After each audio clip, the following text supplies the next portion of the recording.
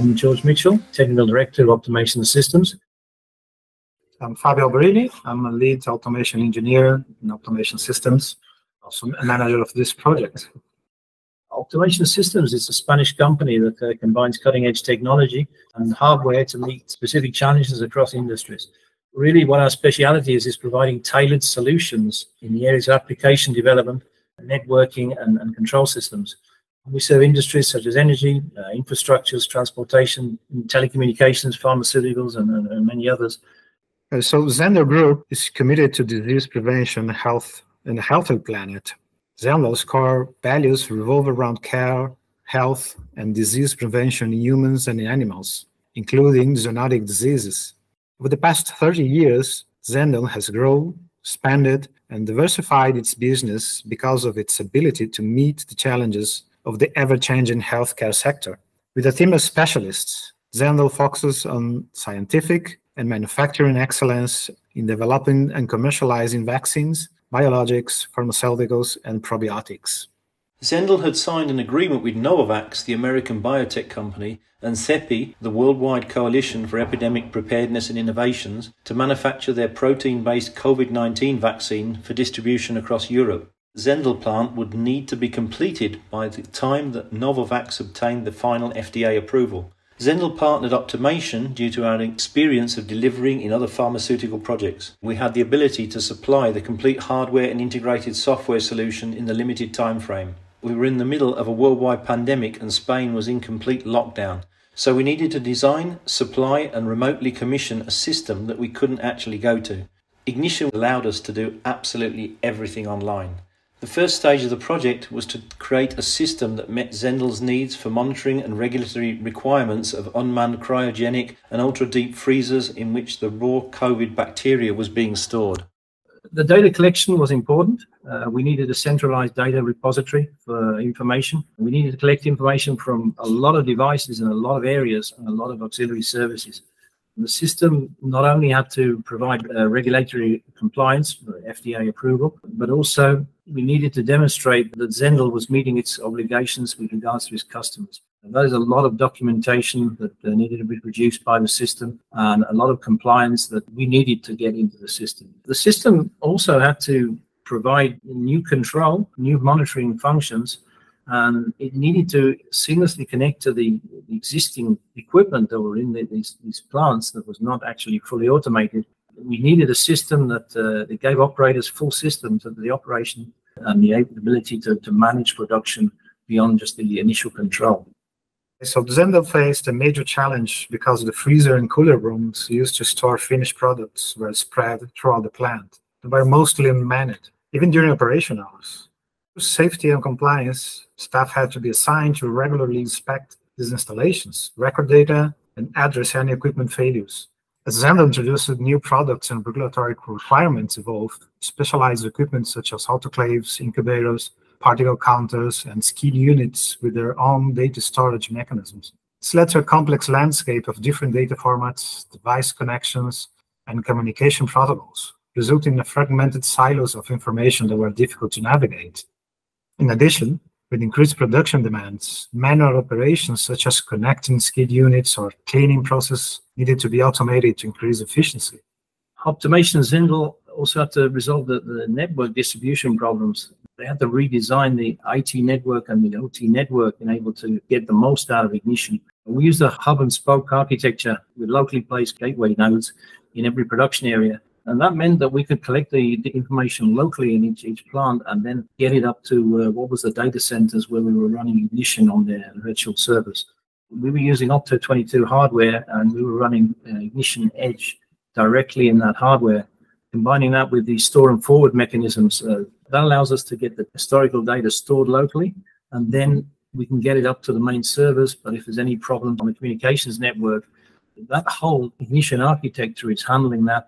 And then when you re-establish connections, that's when the, system automatically pumps that information up.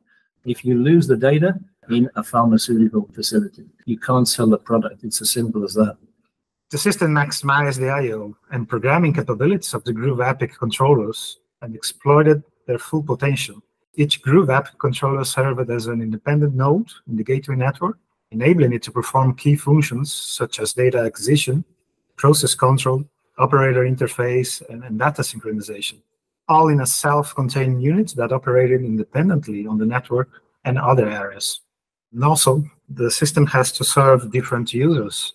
Views that depict the process, and you can check each element of the process that you have to control using uh, the customer standards for colors and, and, and shapes and representation. So that's classic batch fermenter production there, and that is part of the uh, what is known in the industry as a fill and finish production facility. The operator needs to be able to see everything, every single valve position. He needs to know every single data point. He needs pull-up screens to show what operation he's running. He needs to be able to interact with that operation, even abort it if necessary. We used Vision module, Ignition, to create all the classical views of a SCADA system. This is one of the first screens we worked because we started the project with the code storage areas. So we started creating uh, this uh, overview so they can check the storage temperatures, set set points for alarms, and they can add some extra information on those screens to say this is a critical product, not a critical product. So the project evolved into a control to control the process as well, and combine that with the ability to create trends so we can check the past of the process. Uh, we go into a sterilization mode. Uh, very important in the pharma pharma industry. You have to make sure that everything's sterilized. There's special algorithms in there to be able to calculate that that vessel has been completely sterilized. Uh, yeah, we've uh, got the ability to to show him again what's happening in a condensed form. We can see every single phase of the uh, production we also put a lot of screens in that allowed us to show how the system was working. Um, this is not really a screen for operators. This is a screen for more the IT guys. What we're doing is showing the CPU usage of every uh, every processor on the network. Uh, we're showing the amount of memory it's using. We're showing how much disk is used, and really, it's a, a nice overview on a, a dashboard. Should anything happen to any groov EPIC, then we have alarming so it's not just supervision, but we're also controlling the elements, and we have uh, the water tank and the loop to deliver the water for injectables to the different production areas. So the maintenance crew can check the status of the water, check the use of water in different areas, and we have a full control of the sterilization of the loop. We also have a sanitization of the loop. Yeah, we built a lovely queuing system into that where everybody wanted the water at the same time and had to get in a queue. Priorities as whether you were more important than another area or not. So on the other hand, plant managers and quality departments, they need to have an overview of what's going on in the plant. So we combined uh, classical views using Vision module with the perspective module to create those uh, overviews so they can check every equipment in different areas. They can create their own graphics using the trend component. I've also add a layer of customization so the user can create their trends. They can save a specific pen configuration in a trend and then get back that trends or share that trend configuration with other users. I think the two main things of Ignition that really show up in this project is Firstly, the scalability. We started from something very small, and we had to know that this same software would be good enough for two, three, five times the size of this, this the system. The second thing is the edge structure gives you something that not a lot of people figure out. Every time you add an edge, you're adding more processing power and you're actually releasing the power from the server and you're adding more CPUs. Yeah, I think we have a customer that's really impressed that we keep growing the system. Nobody knew how this thing was going to grow. Literally, when we started, it was uh, 17 uh, cryogenerator freezer units, which had some two or three measurement points. Today, I think we're somewhere around about 188,000 atomic tags. That's uh, tags within the system. There's something like 28, 29,000 OPC tags floating around. 200, 250 screens, 9 to 10,000 alarms. And you know, it's still growing.